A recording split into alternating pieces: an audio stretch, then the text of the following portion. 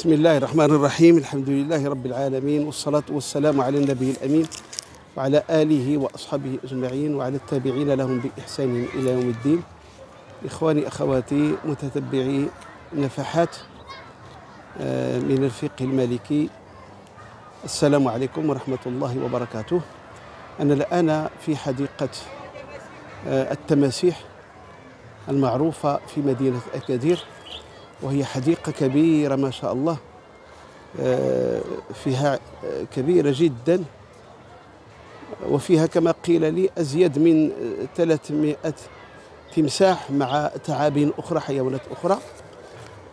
وهذه هذه من من المواقع الاقتصادية في مدينة أكادير.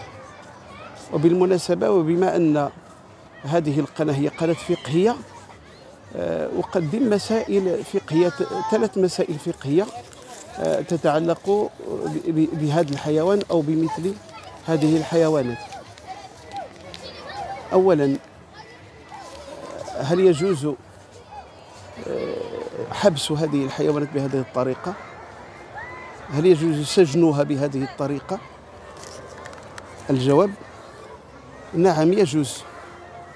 ويقاس عليه مثل الطيور في الأقفاص والحيوانات الأخرى. آه، نعم يجوز ولا حرج في ذلك بثلاث شروط. الشرط الأول أن تكون فيه منفعة بشرية منفعة إنسانية. لأن الله سبحانه وتعالى سخر لنا ما في السماوات وما في الأرض جميعا منه.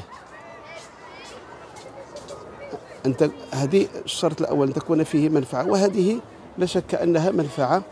فيها منفعة إنسانية منفعة اقتصادية كبيرة بالنسبة للمغرب على العموم وبالنسبة لمدينة أكادير على الخصوص وهي اقتصادية سياحية يستفيد منها صاحب المشروع ويستفيد منها الزائر من حيث أنه يرى من حيث إنه يرى هذه الحيوان التي لا توجد في بلده ويرى فيها قدرة الله سبحانه وتعالى وخلق الله سبحانه وتعالى. دائما ننظر نرى الله سبحانه وتعالى في مخلوقاته. هذه المخلوقات الضخمة المفترسة الكبيرة. ما شاء الله. إذا هذه أن تكون فيه منفعة الشرط الأول. الشرط الثاني ألا يكون فيها ضرر لهذا الحيوان. ضرر جسدي بقطع أطرافه مثلا أو بقطع جلده أو بقلع أسنانه مثلا. لا هذا لا يجوز أن يكون فيه ضرر للإنسان. الشرط الثالث لا يحبس هذا الإنسان عن احتياجاته الخاصة احتياجاته الطبيعية مثل الأكل والشرب وحتى التزاوج. ألا يفصل عن أنتاه لأن فيه فيه تعجيب له بهذه الطريقة.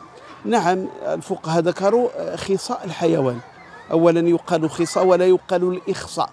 كما هو كما هو مشهور من حيث اللغة يقال خصاء الحيوان. نعم يجوز خصاء الحيوان إذا كانت فيه منفعة للإنسان منفعة بشرية. لا بأس. لا بأس. اذا هذه يجوز حبسه. هذه المسألة الفقهية الأولى يجوز حبسه بثلاث بهذه الشروط الثلاثة.